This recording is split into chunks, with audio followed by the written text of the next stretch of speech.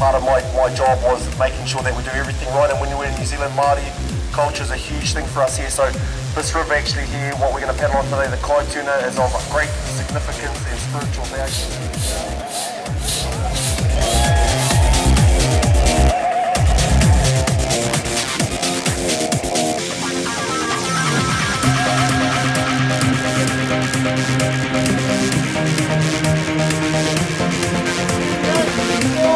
Thank you.